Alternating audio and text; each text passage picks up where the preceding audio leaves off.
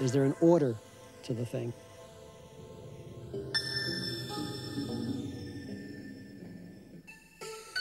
The notion that the world, in its, all of its incredible complexity, has an underlying simplicity, an overarching principle that would explain everything.